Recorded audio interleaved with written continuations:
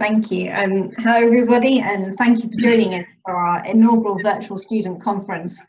Um, this has been organised by the students of the SEG's Europe Regional Advisory Committee.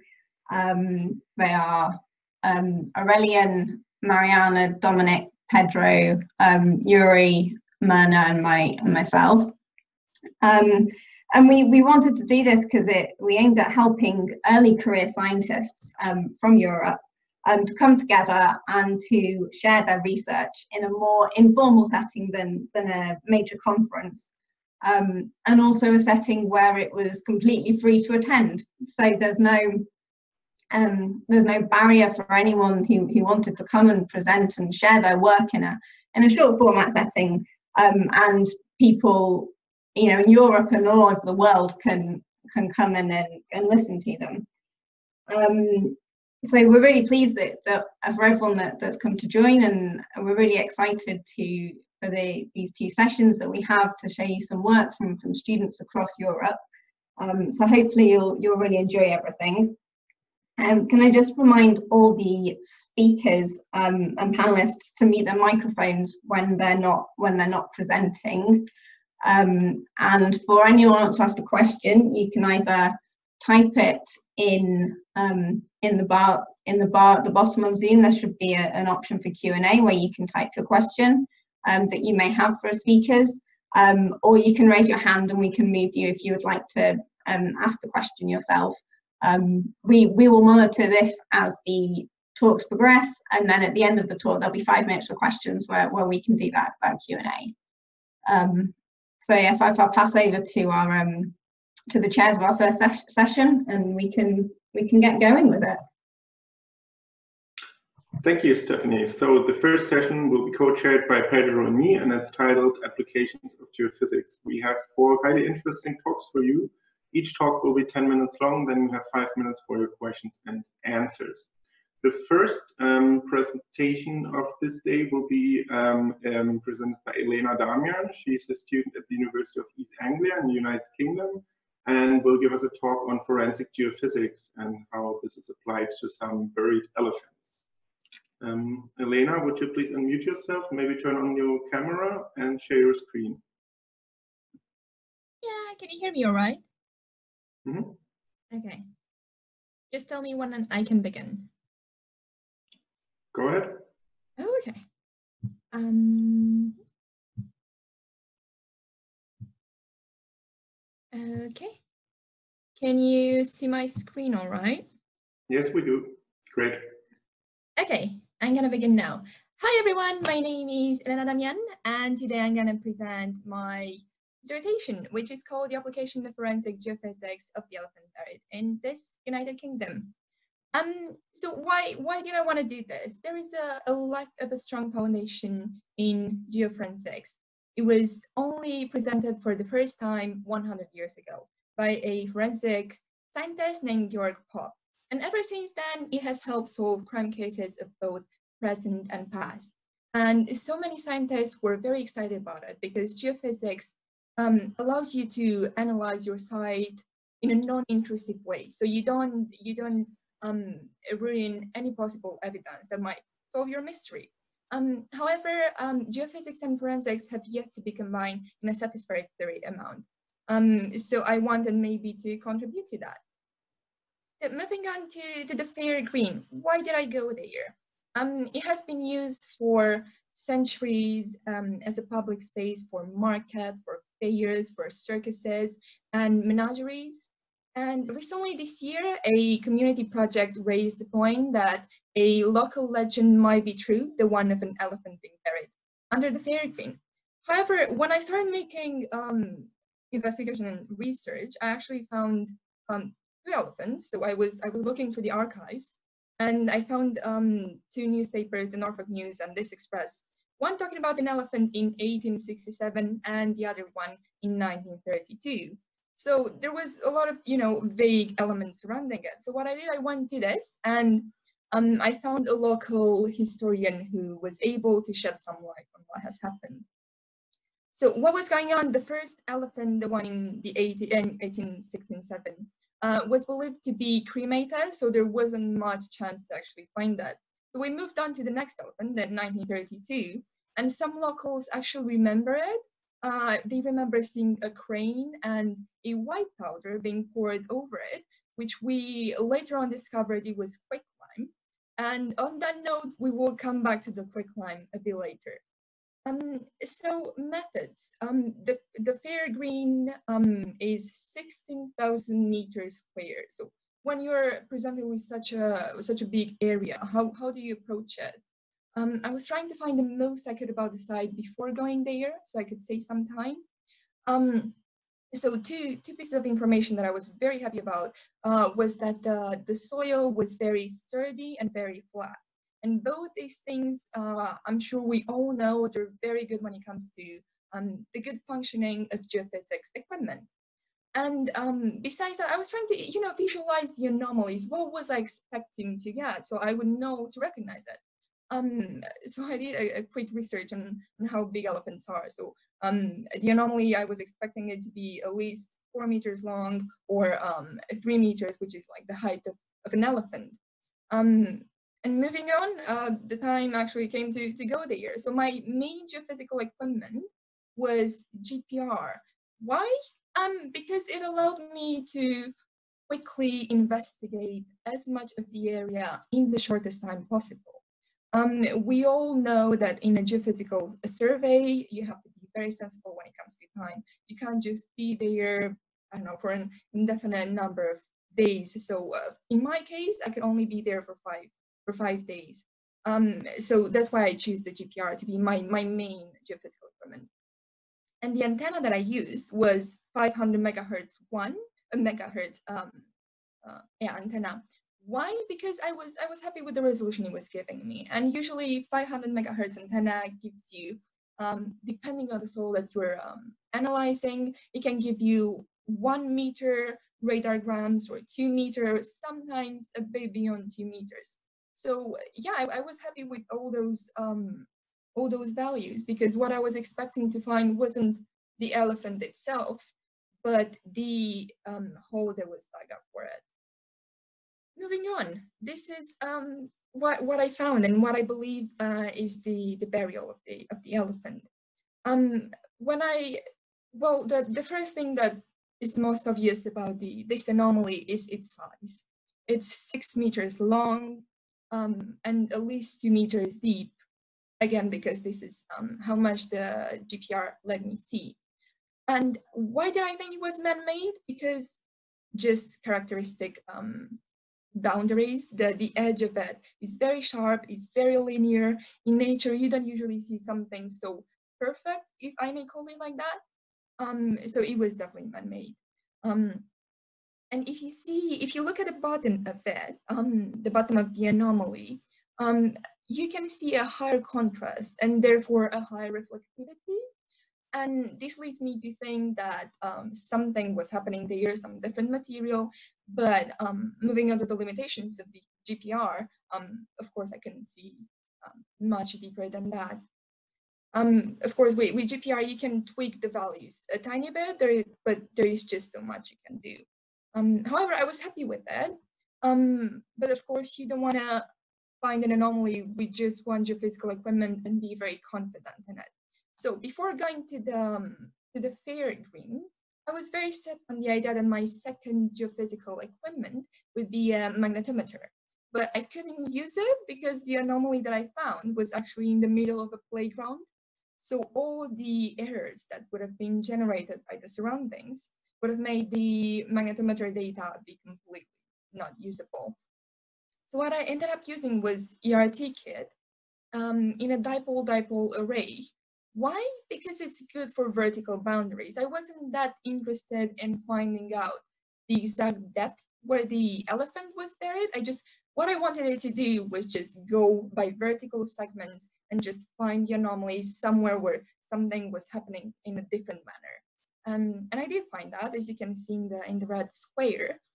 Um, so what's, what's the most obvious thing about it is that the anomaly has a low resistivity. And now we're coming back to the quick quicklime. And it's just a, a short fun fact about forensics and how um, oftentimes you have to combine it with different sciences. Uh, in my case, it was just, you know, some fast, very um, easy chemistry.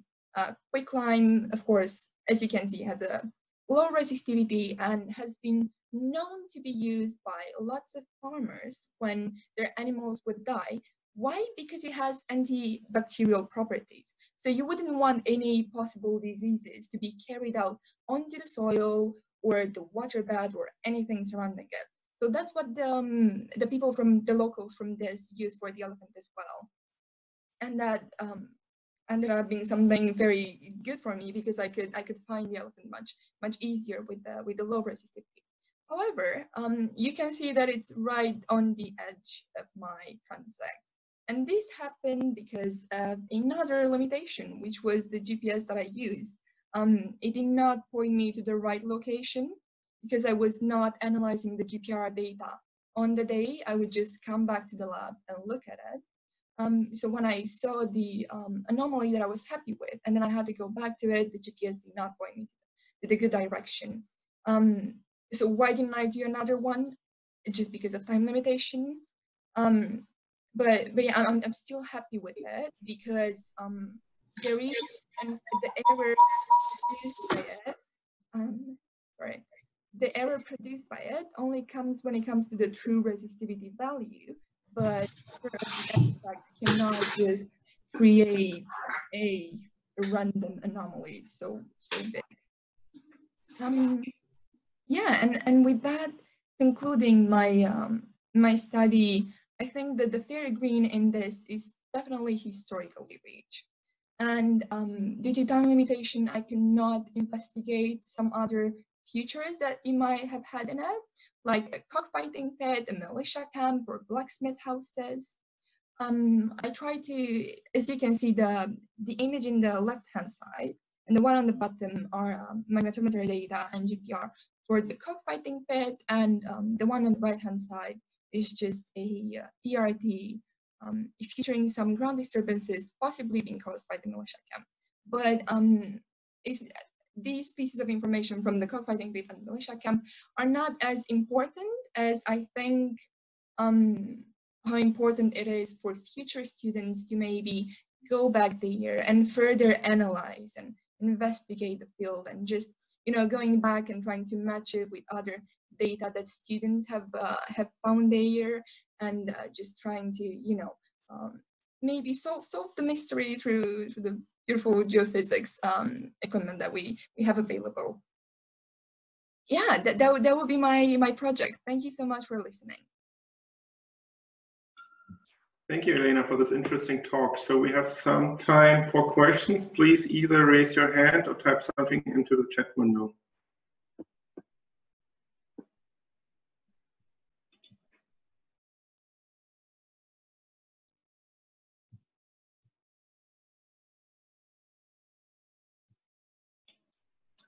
Okay, if the others still need some time to think about a good question, I've got a question. Where do you see the limitations of your um, or of geoforensics in general? I think elephants are quite nice target, but uh, where the limitations when it comes to uh, forensics on people, smaller animals? Right. Okay. So as I said in the beginning, I was very, very lucky to have um, a very flat, sturdy um, area, but sometimes, well, when it comes to, you know, um, more severe forensic cases, um, the bodies could be in a, let's say, swamp. You do not see yourself um, going with the GPR uh, or goodness with the with the ERT in, in a swamp, you know, or in a humid area. The, the ERT should never be used um, um, with somewhere where you know there's there's a lot of water. So tiny amounts of water can make it work better, but not many of them because what you basically do is like send electricity into the ground. Um, but yeah, I think definitely the type of area that you're analyzing is a great limitation when it comes to, to geoforensics. Or if you were, uh, let's say, if you analyze a, a, slope or a hill, there's so many corrections that you have to do with it. I was just my my case was just a happy happy fast one, say like that. Okay, um, I have moved uh, to more so that uh, they can ask uh, their question directly. I've unmuted him. No, trying to. Timur, if you could unmute yourself, that'd be uh, great. You can ask your question.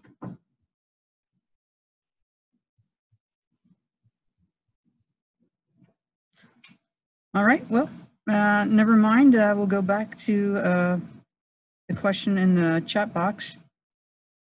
Um, I guess the question is, did anyone dig there? Um, one meter is not too deep or not that deep. I'm sorry, what, what was the question? The first one was it if anyone dug up the, the elephant? Right. Mm-hmm. Um, no, so so they did not do that. As I said before, the elephant is right in the middle of a playground, and um, this is quite. It's it's a small small town. They do not have the community project doesn't have the funds yet to to do that because of course you don't want to just go blindly into it. Um, you just want to be very careful when you when you dig something up that could uh, potentially be something very historically you know important um, so you can't just go with I don't know like a shovel and just uh, dig it out. So no, that this is that is not going to happen in the near future as far as I'm concerned. But it would definitely be, be interesting. Um, Okay. And of course, I would like to raise the that geophysics is of course never 100% because it's not intrusive. Um, my my data matched but of course, like I said in my conclusion, I'm very happy if someone would go there in the future and try to, who knows, maybe correct me or, um, yeah, just further analyze it. Okay, we have an, another question in the chat. Um, um, this gentleman uh, didn't uh, follow why you couldn't use a magnetometer. Uh, could you please explain? Why did I not use it? Yeah. Right. So magnetometer is very easy to get um, errors with it. You're not supposed to wear any metal, any phones, any watches. Um, so you can only imagine the amount of errors that I would have gotten from being surrounded by swing, all type of uh, playground um, um, things. Okay, uh, we have another Using- um, uh, regarding your electrical resistivity results. The RMS error is 7.5%. What is the greatest acceptable value for RMS? Ooh, I'm I'm actually not too sure on that. Um, I think it just it comes from case to case. It depends what you're what you're looking for. Um, of course, in my case, I wasn't that interested, just like I said, in the actual value. I was just trying to to find the anomaly itself. I think when people are trying to find, you know, more more sensible data and exactly their value, they have to be more careful about that. I've seen errors being down to 1.5. I think that would be that would be a really good one. But yeah, in my case, Okay, well, we have time, I think, for one, one quick last question um, that came in. It's in the chat room. Um, and they would like to know, uh, which software uh, did you use, I guess, for both the, uh, the uh, resistivity and the um, GPR? Okay, so for GPR, I, I used uh, Reflex 2 data, and for the um, they're just you know um, so what what's going on mostly when you buy a geophysical equipment, software usually comes with it. It's never something general that you.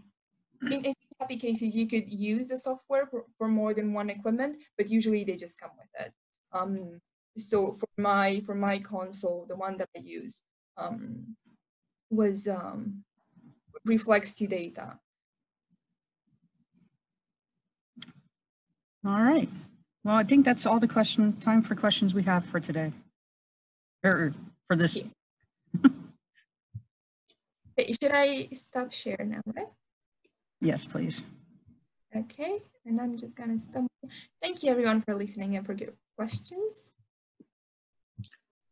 Thank you, Elena. So we're already into the second talk of to, uh, we're already into the second talk of today, which will be presented by Ezekiel. He's a student at the University of Leeds in the United Kingdom, and he will give us some um, results of the analysis of gravity and aeromagnetic data on basement structures in Nigeria. So Ezekiel, would you please share your screen? We already see you, and you're unmuted.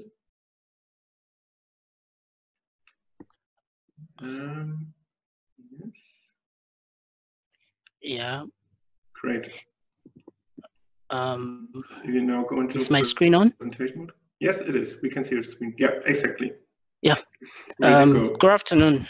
I'm Ezekiel Yene from the University of Leeds. I'll be presenting um, my research work on basement structure of Lower Benue Trough and Middle um, from the analysis of gravity and high resolution um, magnetic data. Uh, my supervisors are Chris Green and Taya in the University of Leeds um, as a form of introduction to uh, my research topic.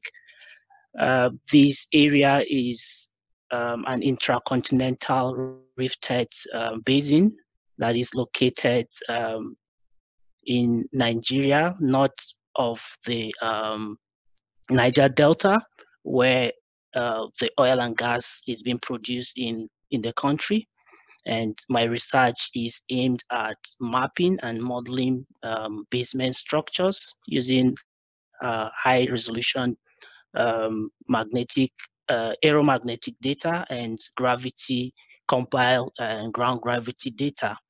Um, the um, the data I'm going to show is on total um, magnetic intensity and also the the um, coverage of gravity data within the area. Um, the geology of the area is basically Cretaceous um, that is being um, sandwiched by uh, basement on both sides of the area. Uh, this area has thick vegetation and thick sedimentation, making it very difficult for um, ground geophysical and geological exploration. So we uh, um, reduce the total um, magnetic uh, map to the equator since the study area is located around low latitude area and applied um, a method of power spectrum, basically the uh, match band filter in order to separate um, different anomalies within the area. Uh, we separated shallow um, anomalies from deep anomalies and uh, those that are of near surface anomalies have a lot of noise so i'm not presenting it uh, in this slide i'm concentrating on the shallow anomalies and um, this uh, was located uh, at a depth of um, approximately 1.8 kilometer and uh, we went further to apply derivatives in order to map out uh, faults and contacts as well as intrusives within the shallow sources of uh, the data.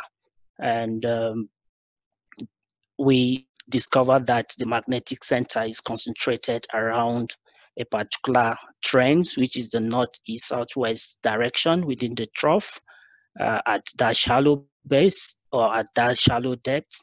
Uh, we also um, analyzed the deep sources and uh, mapped out some structures within the deep sources and um, discovered that uh, towards the northern part of the area, we have the transtensional fault systems. And in the southern part, we have the transpressional fault systems. And we also identified some structures uh, of um, which are uh, and horsts uh, within the area, generally around the area. We applied uh, some method in order to map the basement. Uh, basically, we use the local wave number and the thickness correction uh, depth methods to map to the top of the basement and graded it in order to uh, pick the structure of the basement. And uh, this is what we're able to get in mapping the uh, morphology of the basement. And uh, we interpreted that uh, some of the structures within the basement are ridges, some are domes, while some are just up uh, lifted blocks. And, and those areas that have very deep um, depths we identified as uh, sub-basins and sub-troughs within the area. Uh, we use this map also to produce the uh, uh, sedimentary thickness map of the area where we um, identify areas that have uh, thick sedimentation or um, sediment enrichment and uh, also identify areas that uh, have um, sediment uh, deficiency or sediment thinning within the area. And uh, this um, morphological description of this area uh, gave, gave us the probability of some of some parts of the the the the, the, the basin being uh, having potential for hydrocarbons. We also looked at the result from gravity, but in this case, we did not apply the same methods that we applied in um, magnetics. We applied the uh, upward continuation method that involves uh, plotting a distance, a cross-sectional distance against uh, gravity anomaly, and we were able to uh, get an optimum uh, depth through which we can separate uh, regional and um, uh, residual anomalies. And um, uh, we also applied the derivatives on uh, the the uh, residual gravity anomalies in order to pick our fault and our contacts. And um, we discovered that in the case of the gravity, the north-south structures were enhanced uh, which is which was not enhanced in the um, magnetic data. We also ran the derivative also on the deep sources, and we were able to find um, structures like the grabens and the horsts distributed within the area with faulting also distributed around the area. Um, in because of the vertical and um, horizontal variation of uh, density within basins, we uh, mapped out the morphology of the basement uh, using 3D gravity inversion, basically using the method of uh, Li Oldenburg's method. And we discover variation in the, uh, the density contrast within the trough. And I'm going to go through the slides from 500 meters down to um, around 20 meters where we had uh, the, the separation between regional and uh, residual. And uh, we discovered that uh, we had um, um, increase in, uh, in density as we go down the, the, the basement or down the basin. And at 20, we discovered that the contrast is becoming more significant. But then we also observed that um, we had the influence of uh, deep sediments within the basin. So we decided to model, uh, forward model the, the, the, the, the area using the depth to basement estimate in order to get the pick the effect of the sediments within the area. And uh, this is what we were able to get. This is the, um, the sedimentary uh, gravity effects that we were able to extract from the area and we were able to map the morphology or the uh, basement gravity anomaly within the area, notifying areas of highs and lows within this particular area. And we concluded that uh, the transpressional and transtensional fault systems, as well as the horst structures, could be possible structural traps within the area and we also noted the magnetic uh, intrusions, uh, which are also important, as well as those areas that have um, uh, sediment thickening and um, um sediment deficiency. thank you for listening. And I want to acknowledge um, PTDF for sponsoring this research, GTEC for GTEC, um, NGSA, and BGI for supply of the data. Thank you. Thank you for this interesting presentation. So we already have one question. Um, why do you use RTE instead of RTP for the magnetic survey?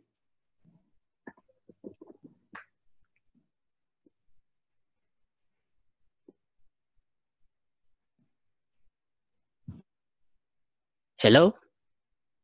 Yes, we can still hear you. Can you hear me? Yeah, yeah, yeah. So the, I repeat the question. Um, Saki uh, asked, why do you use RTE instead of RTP for the magnetic survey? Okay, uh, we decided to use the uh, RTE because the area is around the low latitude area, very close to the equator. So it was easier for us to to resolve to the equator rather than resolving to the pole. Mm -hmm. Okay, I hope this answers the question.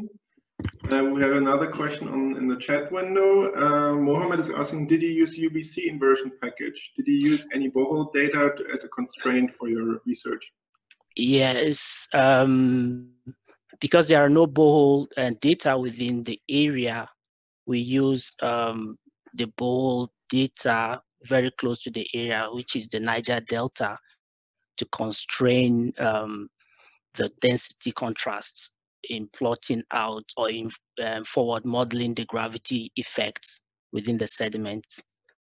And that is the only data we have. We don't have uh, borehole data within the area and we don't have seismic data within the area. So where we just uh, had to use um, um, density data very close to the area, which is the Niger Delta.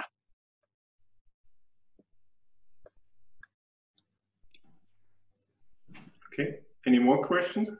We still have like two to three minutes for questions.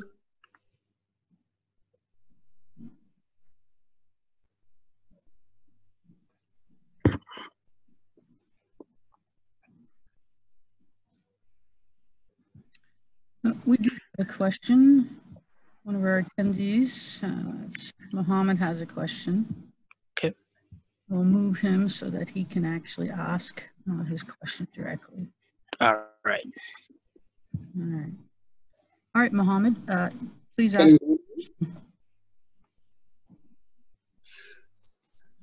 Yeah, hello, can you hear me? Yeah, I can hear you. Uh, yeah, okay. So my question is, uh, how accurate is the power spectrum method to uh, differentiate between the shallow and the deep sources? Because we already derived the sediment thickness map from the uh, aeromag data and the gravity data based on the power spectrum. Why you didn't use directly the, uh, uh, try to invert the gravity and the magnetic data uh, at the same time? Okay, thank you. Um, the match band uh, filter method, when you use the power spectrum, still have leakages from the shallow anomalies to the uh, um, deeper anomalies. So you still have some parts of the shallow effects being replicated in the deep effects. So in order to to avoid that, we decided to invert the result we got from estimating depth to basement by magnetics and then use that as a constraint um, because in that method uh, we use we did not use the power spectrum of course so we have avoided the effects of the uh, deep sources on the shallow sources so that acts as a better constraint for us since it assumes that the magnetic susceptibility of the sediments are negligible. So we decided to use that you know to, to, to plot because in the power spectrum actually it's the depth to those um, anomalies or those depths uh, they are actually um, an average or estimates uh, to those particular sources. So they still have some part of the shallow um, anomalies being reflected in the deep anomalies and the deep anomaly reflected in the shallow anomalies. And that will not be appropriate to invert directly because if you invert, you still have the effect of the deep anomalies still uh, giving you result as part of the shallow anomalies. I hope I answered the question.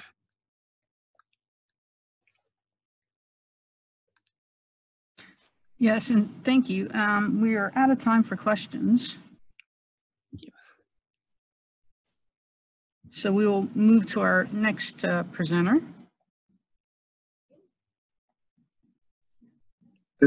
Okay, so the next presenter uh, is Ashley Smith from the University of Edinburgh, United Kingdom, and the title of the presentation it's the removing uh, uh, auroral oval noise from the crustal field signal in satellite magnetic data. So please, Ashley, if you can share your screen and uh, start as when you want.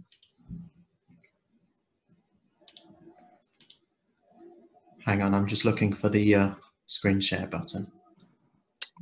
Uh, it's in the in the bottom of your screen, the green button. Oh yes. uh, it says I can't start the screen share while someone else is sharing. Yeah, Ezekiel, would you please unshare your screen? There, I just unshared it for him. All Thank right, you, Laurie. try again.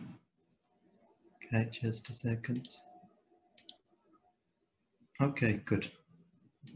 Should be able to see my screen now. Um, yeah, you have some windows open that we can see as well. All right, there you go. Yeah. Oops. Perfect now.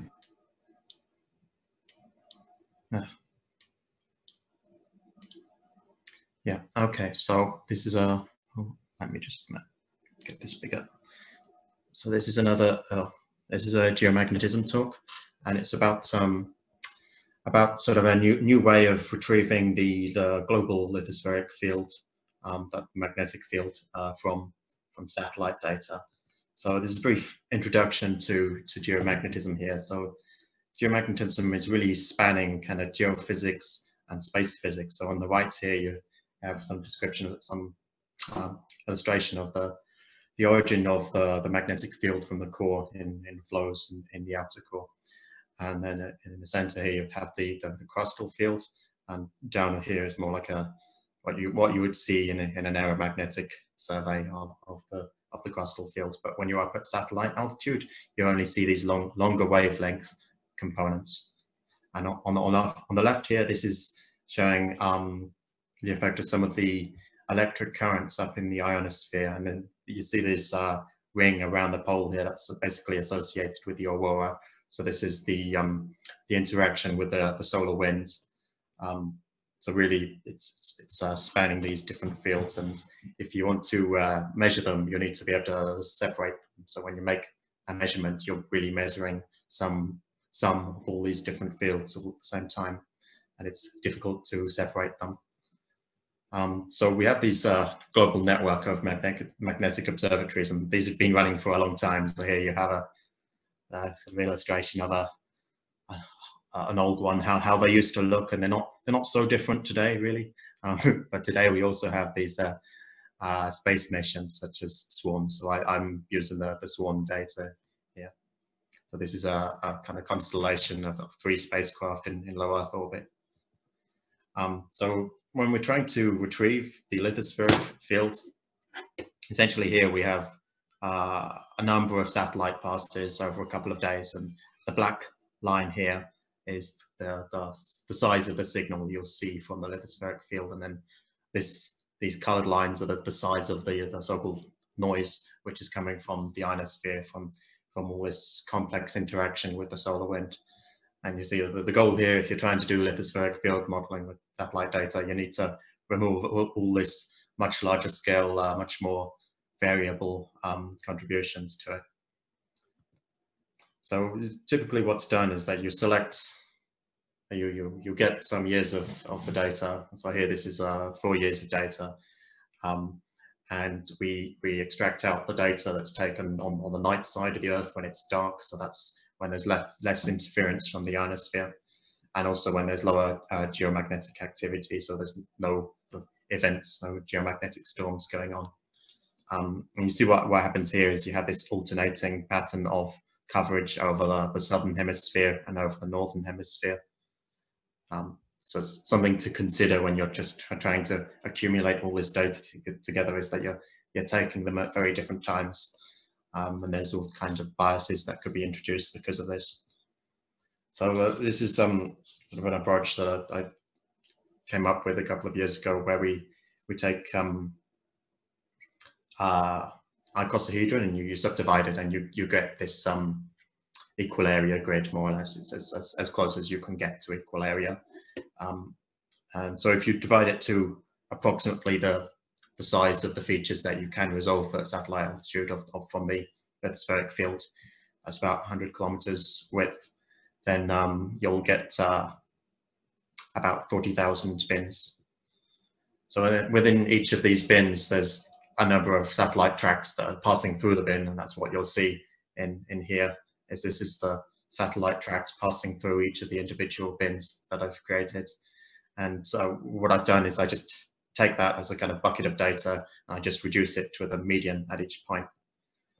Um, once you've done that, you get this kind of way of uh, being able to summarize the data without doing any sort of further processing, just to see what you're looking at. So this is binned within the geographic coordinates.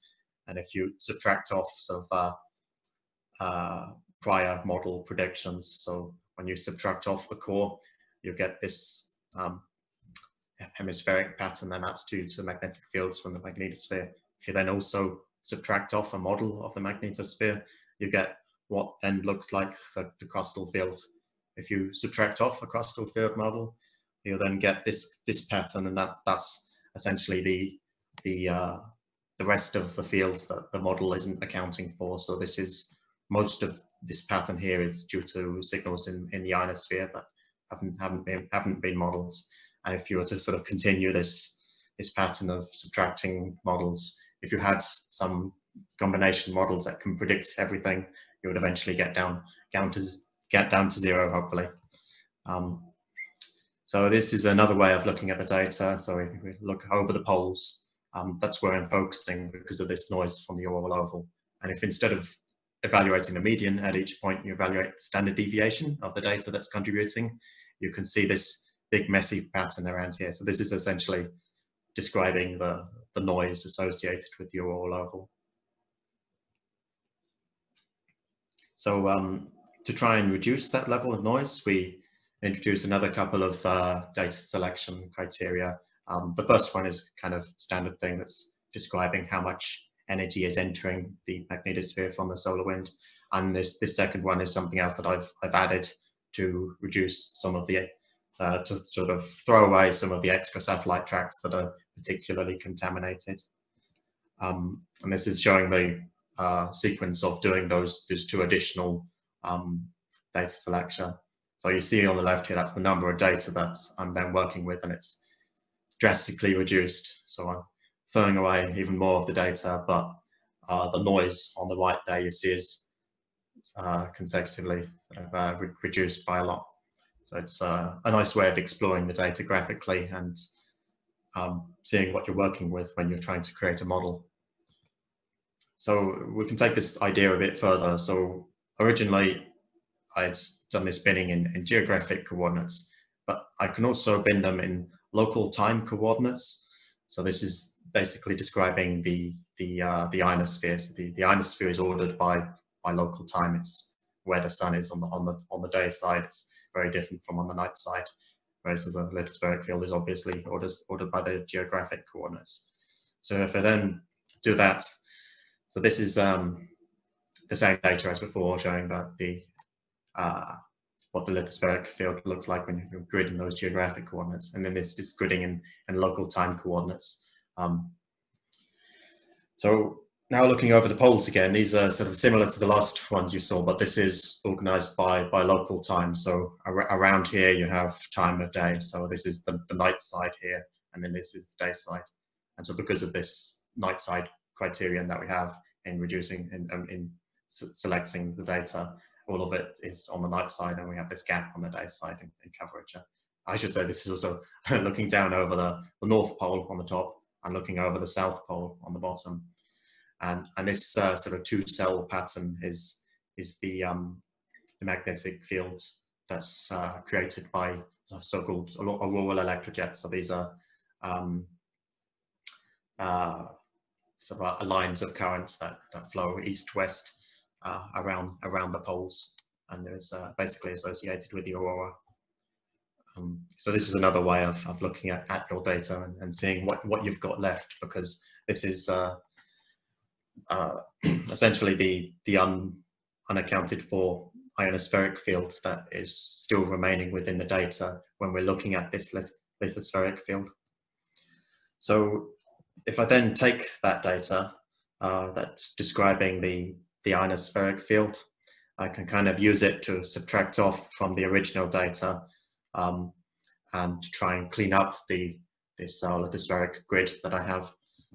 So this is the the effect of doing that. So basically this is the showing the the geographic coordinates and, and then the local time coordinates. I'm kind of subtracting this noise off of off of this because I'm trying to isolate this better. And then it's just showing the, the difference between between those two two steps, whether you remove that uh, that uh, sort of ionospheric prediction or not. And I don't expect you to be, able to follow what, what's uh, what's going on in that, but um, this is showing so sort of how the um, the bias is is uh, the, the, the bias introduced by this uh, ionospheric field. Um, so then I can take the, those sort of uh, reduced data that I have and convert it into a, a spherical harmonic model, um, which is the, the standard way for describing these, these global field models. And this is just showing the difference of introducing this correction technique or, or not. Um, but uh, you can stare at it for a while if you want, but it's a bit hard to uh, figure out what's going on. Uh, there's a bit of an, an, overview overview there, but I'm going to have to skip this for time. But uh, I have the link to the slides in this in in the chat if you want to have a look at it for more. But uh, I'm skipping over these for now. I just wanted to point out a couple of Python libraries that I rely on. It's Xarray and Cartopy. Um, and yes, so it's this kind of simple technique for summarizing the data and so you can visualize it quite nicely and it's showing some promise as a way of removing this uh, all over noise. So I'll uh, finish it there. Thanks for listening. Okay, uh, thank you very much, Ashley, for uh, yeah, this interesting topic and uh, the presentation. Uh, so now we have uh, time for questions, and I think we have already one here from Taimur Hassan. Uh, so was asking what is actually auroral oval noise. So this is the the magnetic field that is produced by the auroral oval, and this auroral oval is the the uh, the oval around each of the magnetic poles, where energy from the solar wind is coming in and driving electric currents in the ionosphere. And so when we talk about internal field modeling, where we're using magnetic data on, on the ground or, or at satellite altitude, you're, you're measuring this some of these different sources. And if you're trying to extract out the, the internal fields or the, the core field or the lithospheric field, then you also have this signal in there from the auroral oval, so from these electric currents, and you're just trying to remove that. So that's the, the noise at that point.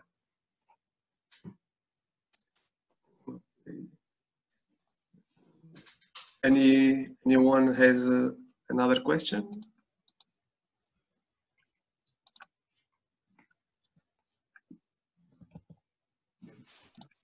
There's a, a question in the chat box. Um, and uh, Muhammad asks, how do you separate core field to lithospheric field? So in, in this case, I'm just using a sort of prior determined model of the uh, of the core field, and I'm just subtracting that prediction from from the data. Yeah, I mean, I could sort of take it further and, and model that as well at the same time, but it will be uh, complicated to do all these things at once. All right, thank you. Uh, unfortunately, we are out of uh, time for question and answers, uh, and so that brings us to uh, Hannah. I'll let Pedro introduce her. Uh, thank you. Uh, so the next speaker is Hannah Rogers, uh, also from the University of Edinburgh in the UK. And uh, with the topic and the title of her presentation, uh, Scotland and Space, what I've learned about how geophysics applies to space industry. So thank you, Anna, and you can start. Uh, great. Can everyone hear me and see the slides? Great. So, um, hi, my name is Hannah. I'm a third year PhD student at the University of Edinburgh. Um, and I would like to talk to you about Scotland and. How does geophysics apply to the space industry. Um, and to do this, I'm going to talk quickly about the space industry and how it's changing before focusing on why I think this is relevant to earth scientists and particularly geophysicists. Um, I must apologize now. I thought this would be very much a European focused audience. So if I can't answer questions on particular things, I'm very sorry in advance. So it has be recently been announced that we are entering a new space era. And gone are the days of the space race and large international collaborative projects run by government organizations have very much been overtaken by private investment and smaller satellites called CubeSats being launched uh, by commercial entities. So these satellites are said to be in a constellation when we have multiple satellites that are in multiple places around the Earth and they kind of form a grid. So this change from like old space to new space is kind of best shown by these two images. So um, um, so we can see on this graph on the left that um, satellites that are over 500 grams have stayed kilograms have stayed pretty much relatively constant, but these small sats have really grown exponentially um, over time. And also the people who are launching these CubeSats um, have changed. So in 2014, there was a real acceleration as commercial industry uh, started to launch these smaller satellites up into space. And a CubeSat is basically made up of Rubik's Cube size blocks, and you can stack these together to form small satellites. As space and weight is at a premium, the, a lot of the engineering focus is on trying to miniaturize existing technologies.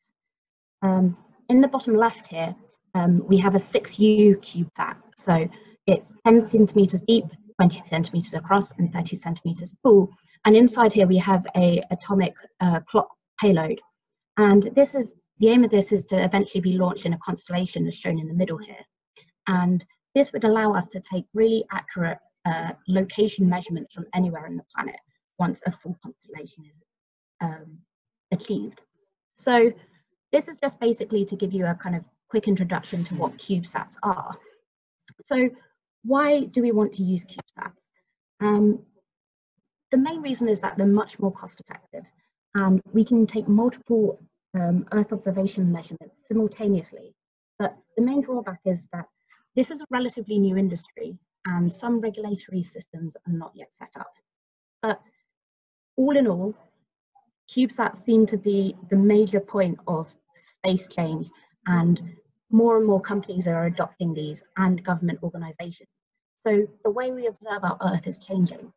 And in fact, a recent report announced that 13 out of the 17 Sustainable Development Goals um, could be kind of assisted by space technology and satellite technology. So as well as um, understanding how this is impacting our uh, research, we might want to consider how this could be impacting our future careers. So um, here are some excerpts from the Size and Health of the UK Space Industry 2018 report from the UK Space Agency and the London School of Economics. And here on the left, you can see that 69.5% of 14.8 billion pounds was estimated to be in space applications.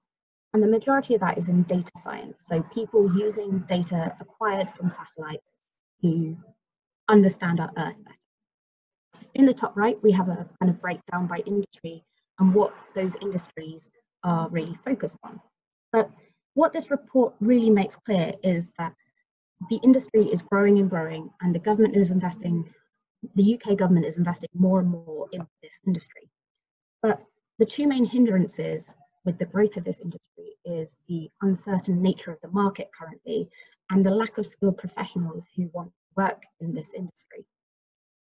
So why did I choose to give this talk? So I have one month left of a six month industry placement funded through my NERC PhD um, work for a company in Edinburgh called Orbital Microsystems. And I've had a really amazing five months and I wanted to share some of the experiences that I didn't think that my background as a geophysicist would necessarily have let me have. So up in the top right, this is one of the CubeSats being launched from the International Space Station, which you I got to watch live from Earth um, with the feed from NASA. And then on the left here, this is the US consulate in Scotland. We ran an event for her, um, kind of opening up some of our new products. Um, this is a CubeSat that I saw live in person. Uh, we got to attend the UK Space Conference and chat to a whole load of industry and academic background and just hear about what the future of the space sector in the UK looked like. And then like over here on the right, kind of getting down to the science of it, this is a picture over Typhoon Hagibis, the typhoon that recently stopped the uh, Rugby World Cup happening in Japan. And you can really see that there's quite a lot of detail. So alongside this, I've been writing proposals for the European Space Agency and doing website design and doing a whole load of different bits and pieces that I just did not really think about doing. So from the science side of things, what orbital microsystems do is they have miniaturized a microwave radi radiometer. And so at each frequency, you get a thin slice through the atmosphere. So you get really good vertical resolution of storm structure. And this allows us to kind of understand a lot more about whether weather systems are growing or shrinking or um, what could be, where storms could be moving next. When a full constellation of satellites are launched, we're hoping for 15 minutes uh, repeat times as opposed to about six hours that you would expect from government satellites. So, and if you just look at this kind of like image here, so starting at channel eight, you're kind of near the surface and we're going slowly up through the atmosphere. And it gives us a really good 3D structure of the storms. So you can kind of see the peninsula here and then as you go up, the, um, the atmosphere becomes more uniform. And on the right, we're comparing our data compared to some government data sources. So the NOAA sources are American satellites and the FY3C is Chinese data set. And not only are our sensors more accurate spatially, because they're cheaper, we're more likely to launch more of them, and then we'll be able to achieve this 15 minute temporal resolution. So um, yeah, I've been doing some work alongside and looking at this data, which has often been the first time that people have been able to look at these storms with radar data, and that's been really exciting. So all in all, the industry would like our skills, and that's a whole load of different skills that I didn't really have time to list out in whole. um, but I think until I did this internship, I was not aware that the space the space industry is really looking for geophysicists and people with our skills to go and work for them. And um, I wanted to list some organizations here that you might be particularly interested in. So um, at least as far as I know in the UK, there is funding available for early career scientists to go and work in the space industry. So Catapult have a spin placement program and uh, the SEDS company, so, uh, SEDS organization, so UK SEDS uh, is the UK branch, but I, they are worldwide. Um, they kind of focus on building hubs where you can get involved with the space industry and do work building CubeSats and various things. Um, so ESA have a whole range of business development um, and people that you can get in contact with to kind of, if you are interested in breaking into this kind of uh, background then or this kind of industry, there's a lot of companies that are out there and willing to help you. And um, that's kind of where I wanted to leave it, except for just to say, um, I hope this has been interesting and yeah, thank you.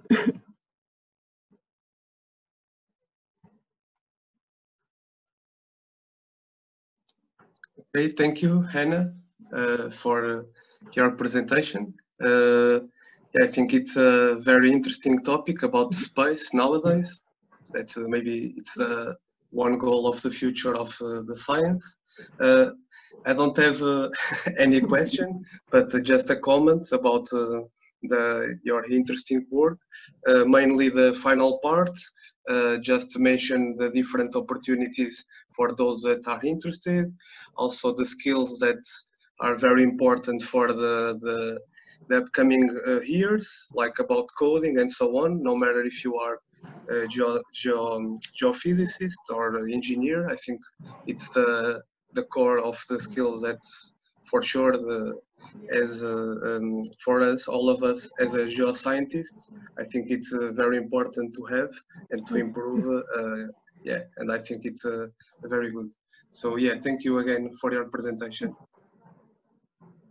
I don't know if there is any other questions from the the audience Yes, I, um, Hannah, uh, there's a, a question. Um, how did you first learn about uh, this opportunity to have a, a, an internship?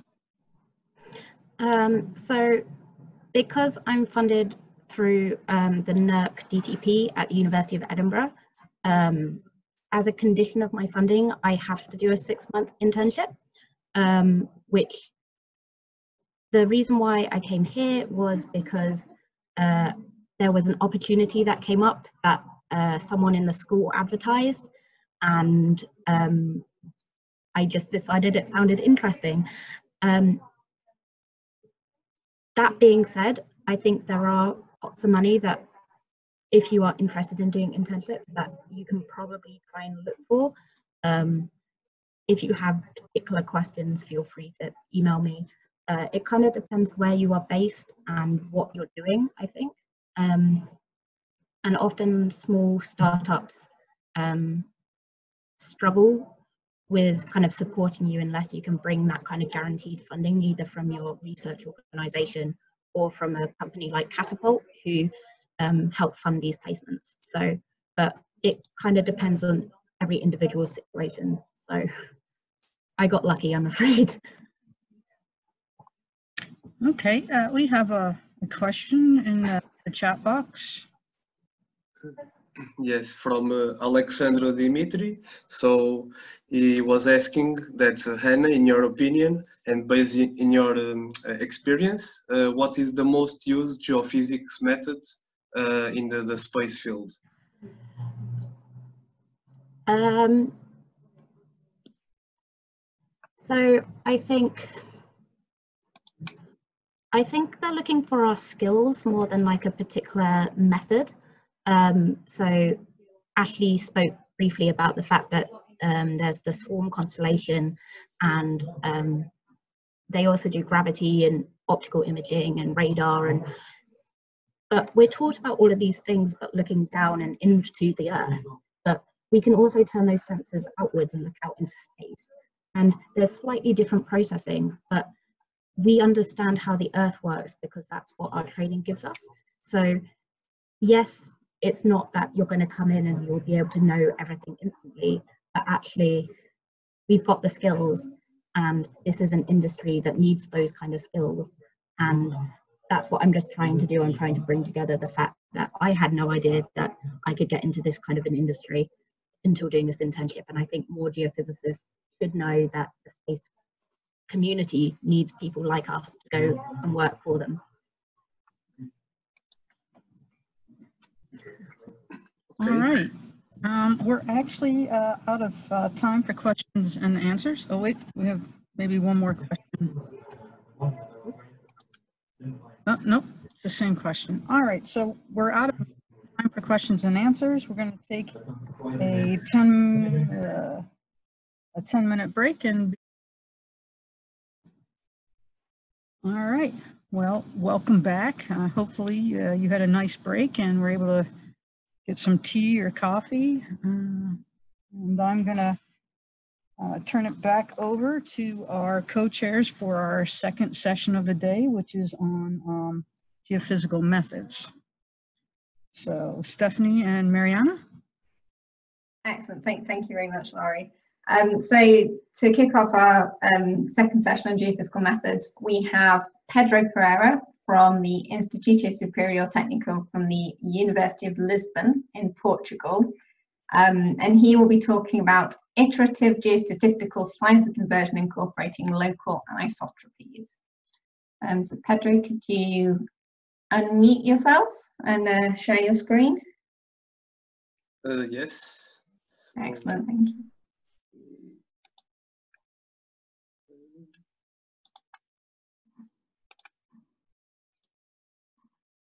Okay. Uh, are you seeing the screen? Yes. Yes. Okay, so uh, so uh, my title, as uh, Stephanie said, uh, it's uh, under the scope of uh, uh, iterative geostatistical seismic inversion. Uh, okay, I'm a PhD uh, candidate uh, in petroleum engineering in the University of Lisbon. Uh, and today, okay, uh, I'm going to talk about this topic. This is just the outline of my presentation and starting from the beginning in the introduction. Uh, so um, what is the, the main goal uh, about uh, this work or this scope? Uh, it's related with uh, the, the data that we have and we want to estimate the, the subsurface elastic and petrophysical properties. And uh, uh, through that, uh, we use the data to infer these properties. And this is just a general workflow about the, about the, these uh, these methods. So yeah, we infer uh, with the stochastic simulation the, the several multi-realization properties uh, that we have. We just afterwards do the, the forward modeling to compute a synthetic seismic and uh, in a trace by trace basis we compare with our uh, reference or uh, uh, observed one. And uh, this is an iterative loop uh, that uh, try to optimize uh, from iteration to iteration the the, the properties or, or the models the inverted models that we have uh, and uh, we want to achieve the best fit ones. uh, so uh, just uh, to mention that uh, it uh, uh, this algorithm in the stochastic uh, simulation uh, that uh, we want to reproduce uh, from our experimental data, for instance, the well logs, the properties that we have. So we want to reproduce the, the histograms, uh, that means the distribution from the logs to the properties. Uh, also the, the, the, the spatial continuity par- patterns from these properties that we want to estimate that are re- represented by the variogram models uh, that are a, a B-point uh, statistic uh, algorithm or uh, technique uh, that uh, allow us to reproduce the Pedro, sorry, one second. We're getting some flashing from your screen, kind of the background's coming up. Are you seeing that as well? uh, sorry The, the background of your computer seems to keep flashing up every so often behind your presentation. Um, we're seeing that on our screen. okay But maybe you just try and load it again. maybe I will share again I don't know what what happened.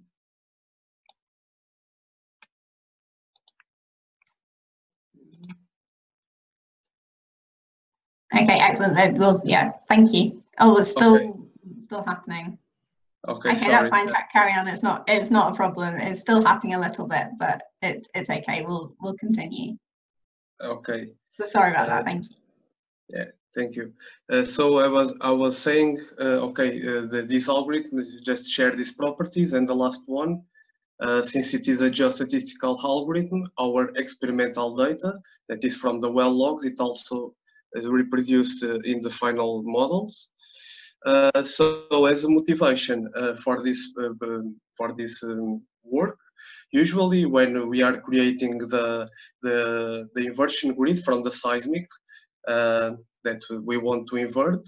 Uh, usually we pick the top of the reservoir or the bottom and we just create a parallel uh, uh, grid based on this reference surface.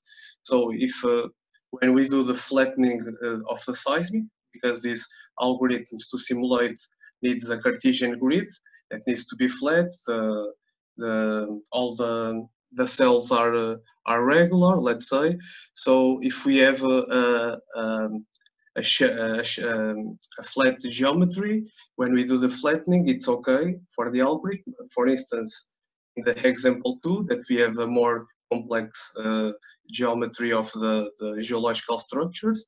What what happens when we do the flattening from this top or uh, bottom reservoir surface is that uh, in between we have several uh, let's say, layers that are not flattened.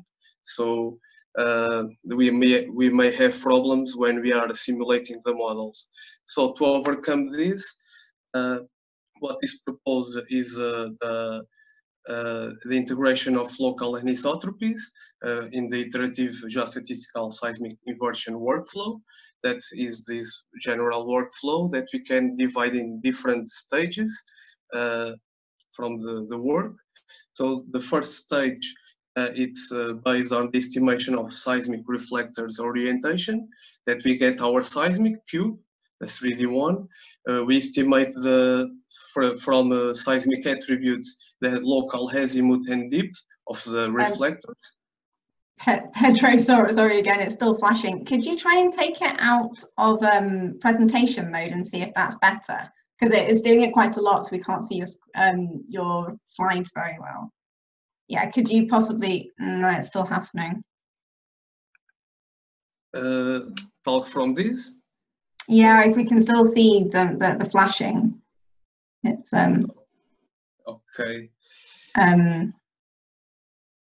Yeah. Yeah, okay, try showing it again.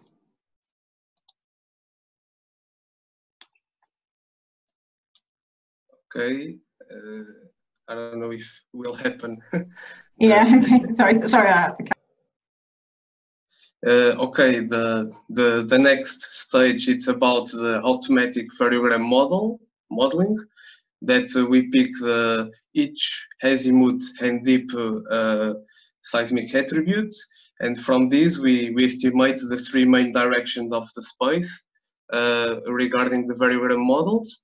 So we compute experimental variograms, and after uh, it's uh, um, we do the fitting of these experimental variograms from a variogram model, and uh, is doing locally and according to the three main um, directions of the space. The vertical one, the main direction that is that follows the the reflector's orientation and the, the minor direction the horizontal one that is just perpendicular to this main direction.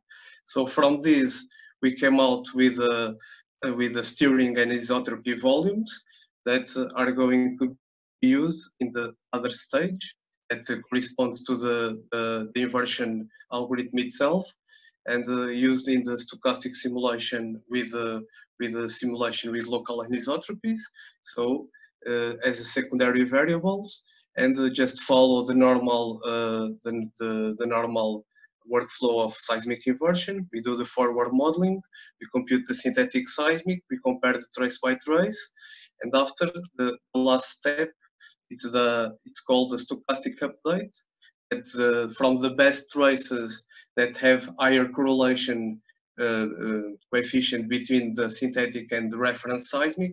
We just store in auxiliary volumes as well as the, the, the property that we are inverting and use in the co-simulation process uh, again to the generation of a new set of models and so this is an iterative loop until we reach uh, a good a good model uh, after for instance six iterations that is the case that I'm going to show just uh, some uh, results so here uh, I'm showing the uh, some vertical section and horizontal slice from our model. This is a siliciclastic environment. We have some sands and shales.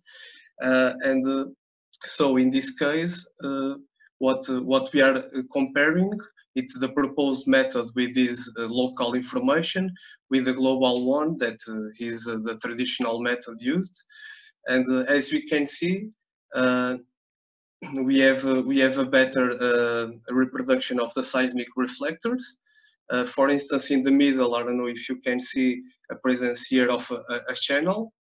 And uh, for instance, from the traditional method uh, that we that we used, we cannot uh, we cannot see, for instance, this channel. and with the proposed method, it's more clear the evidence for these geological structures. Also, I'm showing here the local correlation coefficient. That is also a, um, a method that we use uh, to corroborate the, the, the results that we have. So we can see that between the synthetic and real seismic, we have a, a, we have some uh, traces that have a good correlation, as we can see from the, the Collar scale here. It's from 0 to 1, so we have uh, approximately, approximately uh, almost 1 from, uh, from these, these, uh, these traces. And the other one, we, we lack this higher correlation, and so the results are a bit poor. And the same behavior from the slides that we see in the on the on the right. Um, so here are the acoustic uh, impedance that was the property that um, that was used to to invert. Um, and this is the best fit model after the iterative loop, the optimization process. We get uh, the, this uh, this model. So as we can see here, we see the the presence of the, the, the channel that was also observed from the seismic in the in the vertical section. Uh, also uh, in the in the right bottom of the of the model we see the presence of uh, a fault and we see that the spatial continuity of the property is not so well reproduced when we use uh, the just a global variogram to to reproduce these uh, these uh, these patterns. And even for from the the on the right the the section the um, the slice that we have here, uh, we can we can clearly see a presence of a meandering channel repre represented by the lower acoustic impedance values. uh, that uh, are also associated with higher porosity values. So uh, as we can see here, and the other one, the channel is not so well reproduced.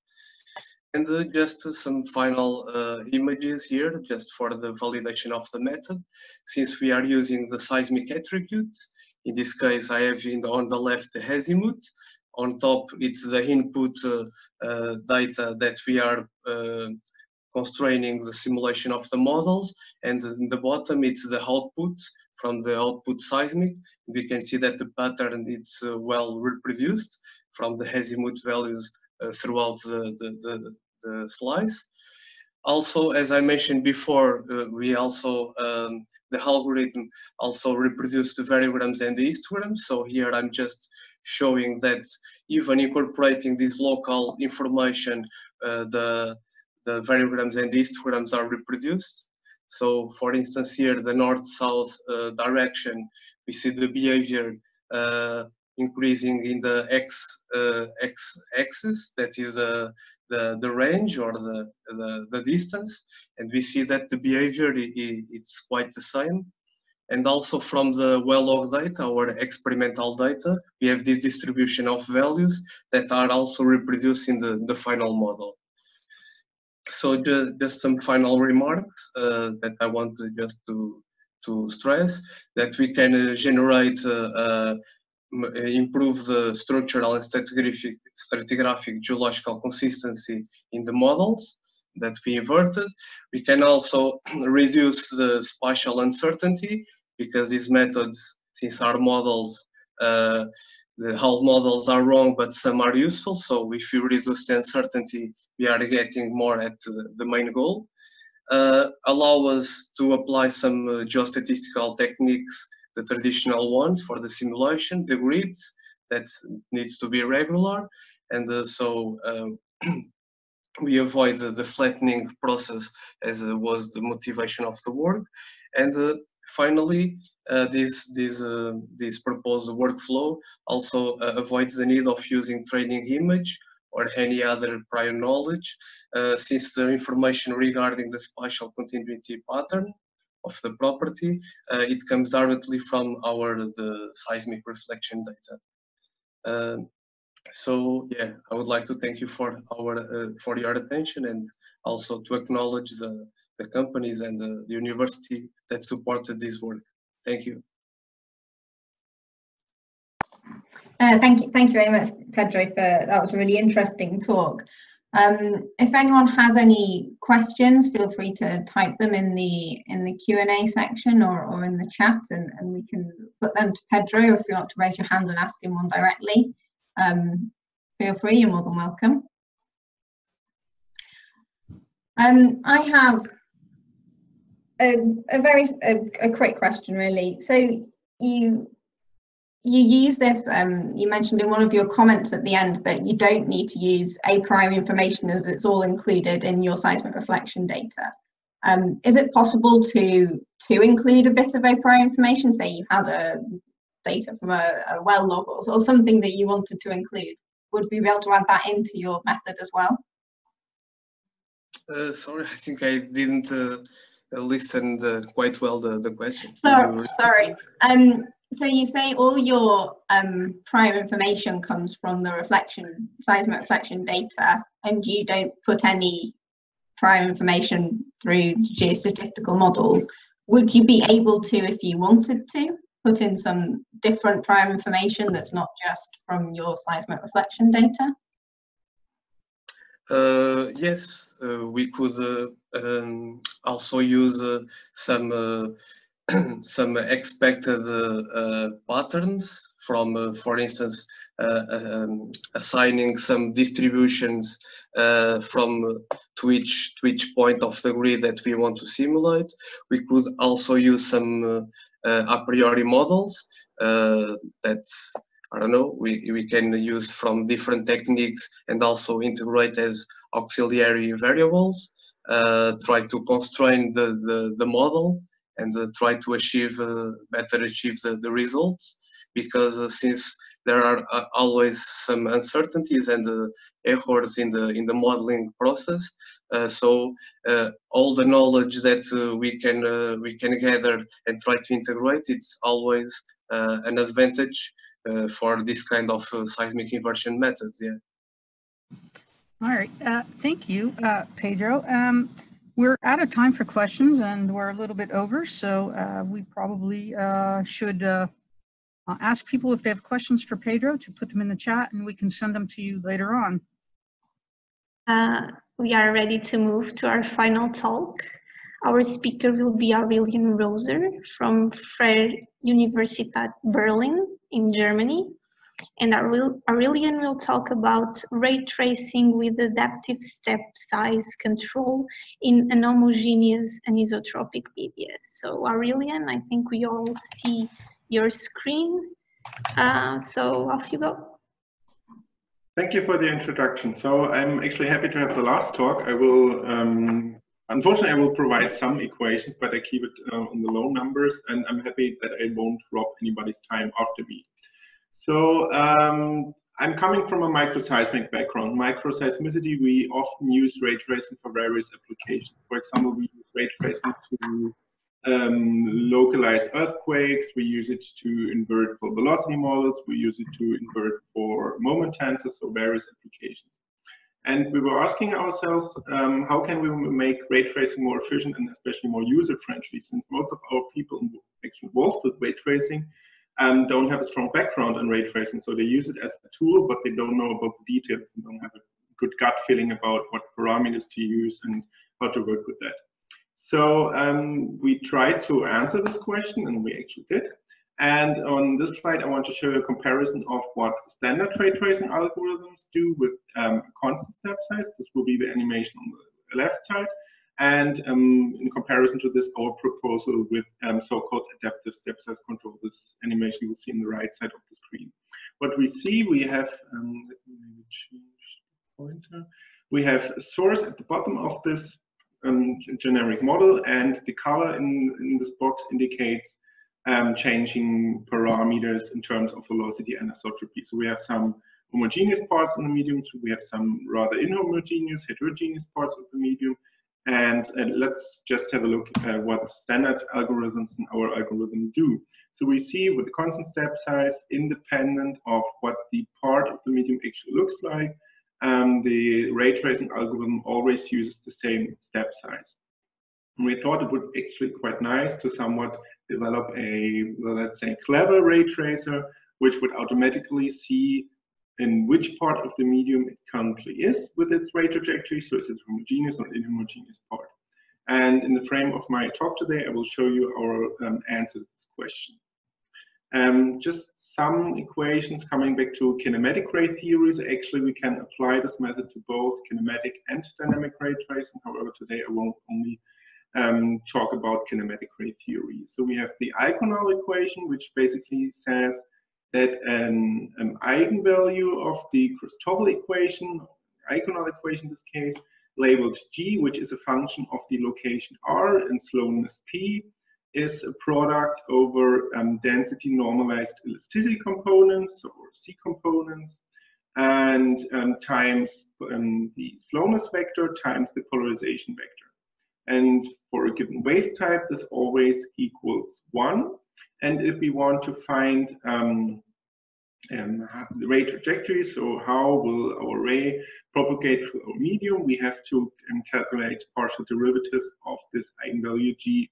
And this gives us the ray tracing system, which consists of six equations, three equations describing the um, change of location over time as um, partial derivatives of this g um, over derivative um, slowness, and three more equations describing the um, change of slowness over time.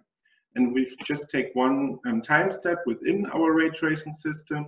We propagate our ray from a location and slowness at point tn, um, solve these six equations, multiply this by our chosen step size, and then can use this to update for new location and slowness. So this is just basic theory. The interesting part is how do we implement this numerically in an efficient way? Um, usually people do this uh, with so-called Runge-Kutta methods, and they are described by two parameters, the number, the order m, which basically describes the accuracy of the method. So up to which order do we um, describe our numerical implementations um, following Taylor series expansion. And the second parameter is um, the parameter S, the number of stages we perform within each time step to achieve this goal. So um, I think all of us in, in high school heard about the Euler method. Basically, this means that we use derivative information at the beginning of a certain time step to extrapolate our value and then get the information at the beginning of the next time step. This stands for order m, and we have one stage. If we then complicate this a bit more, we get the midpoint method. This is also, I think, still high school knowledge, that we actually don't use the derivative information at the beginning of the time step, but in uh, just in the middle of the time step. Then in most scientific applications, people further complicate this and um, use the classical Runge-Kutta method, um, which I label RK4. This has order four and four stages. And um, in, in seismology, unfortunately, we don't see any other um, Runge-Kutta methods, but in other fields of science, of science people um, actually use much more complicated Runge-Kutta methods. And um, we adopted one of these uh, called the Cash-Karp method, which I label as RKCK, and this also has order four, but uses six stages within each time step to um, actually calculate, our, in our case, location and slowness at the beginning of the next time step. So you may ask yourself, okay, why, what's the benefit of having two more stages and more computational um, problems to um, more or less get the same result? Well, let me show you. Um, to solve our ray tracing system with the Cash-Karp method, we need um, our two um, um, sets of equations, in, in, general six equations, from the ray tracing system, which we had a couple of slides ago. And uh, we use these to calculate so-called location and slowness increments. They are labeled by this delta R and delta P. And once we've done this for all stages within each time step, we can weigh them with um, weights um, beta and beta prime to um, calculate the location and slowness values for the beginning of uh, the next time step. So with the Cash-Karp method, uh, we, other way around, with regular standard classical Runge-Kutta methods, uh, we use um, parameters which only include uh, dependencies between stages, alpha, and one set of weights, beta. But with the Cash-Karp method, we introduced, or Cash-Karp actually at the beginning of the 20th century, introduced, um, of 21st century, introduced the second set of um, weights, and we use this information that we get for two estimates of the location at the beginning of the next time step to estimate how accurately did we perform our time step. So let's have a short look at what those parameters look like. They're usually presented in so-called Butcher tableaus which depending on the um, order M look a bit um, ugly. But basically up here we see the dependencies between and the several stages within each time step. And here we see the two sets of weight. So how are the um, stages of the increment vectors weighted to and then perform calculate an average over all stages for the next time step.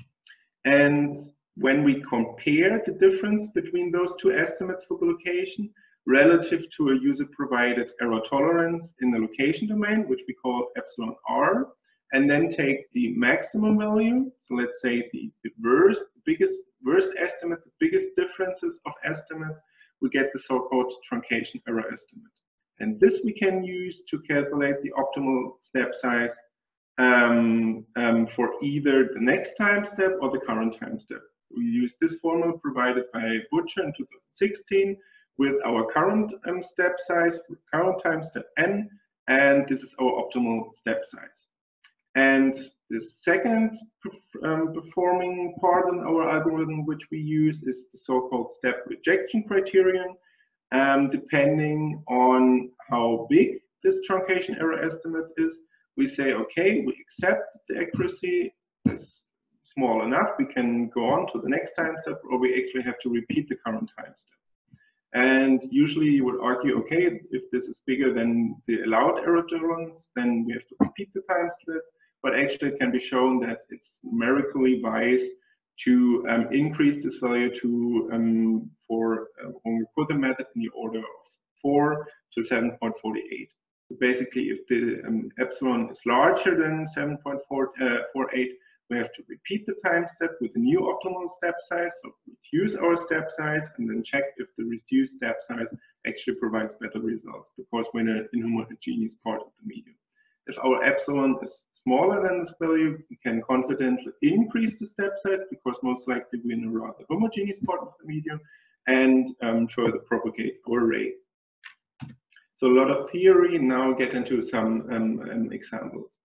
We tested the algorithm on several models. Right now, I just want to show you um, a strongly anisotropic velocity model, which comes from a microseismic um, experiment in northwestern Canada. So we see uh, we're in depth of roughly 1.4 to 1.8 kilometers. And um, we have strong velocity contrast and also strong anisotropy indicated by the Thomsen parameters.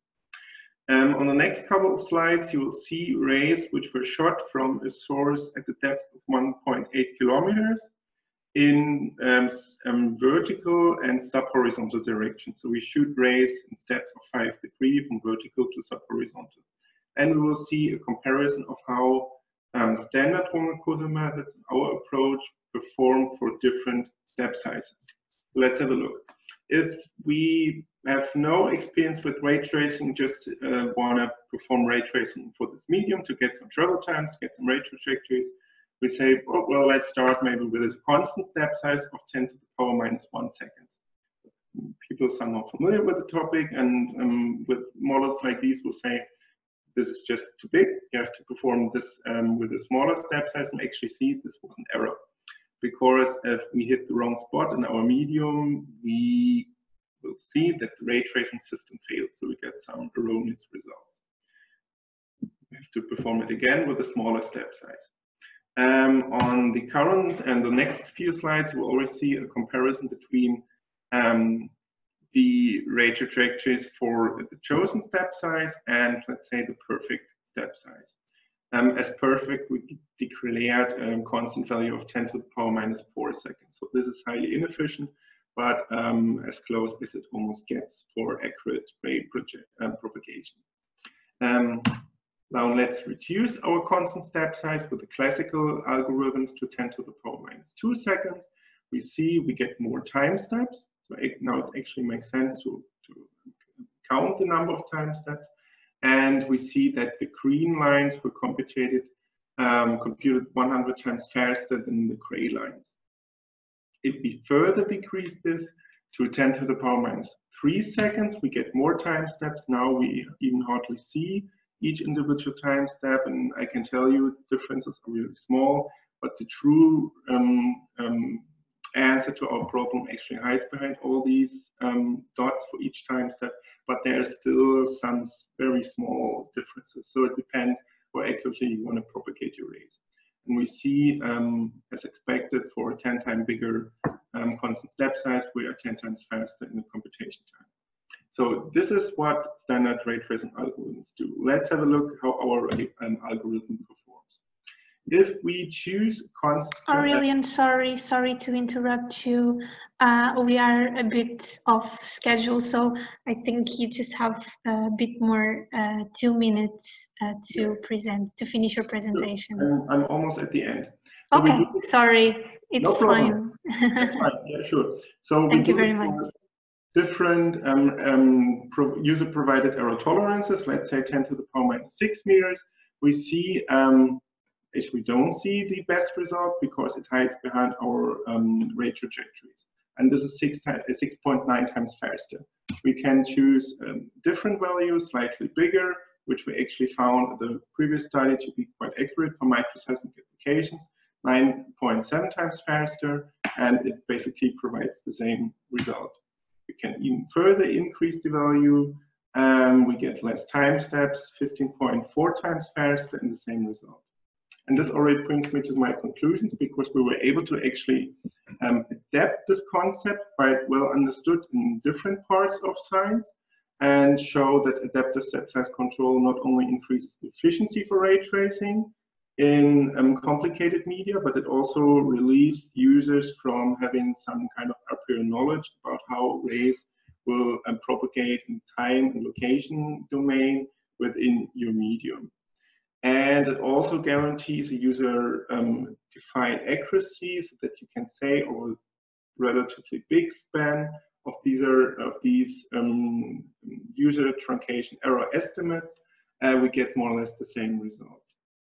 Um, I want to acknowledge my university and our sponsors um, and SEG for giving me this opportunity um, to present this. And if you're interested in any of the research, so we have publications, the SEG and EAGE and in meetings, and um, in journals, there are also publications in um, preparation. Thank you.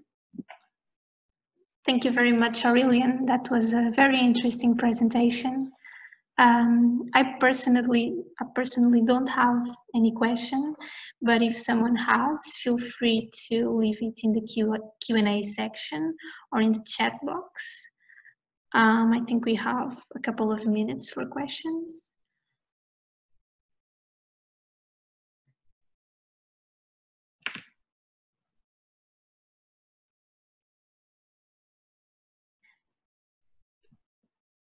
Well, if we don't have any question, I think